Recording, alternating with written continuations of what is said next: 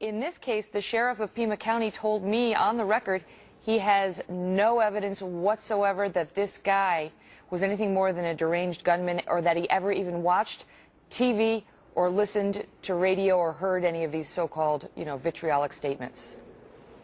Well, it's clear from his web postings that he had picked up some of the extreme right uh, positions, such as that our currency is not real currency, etc. You do hear that Uh, in the blogosphere on the extreme right.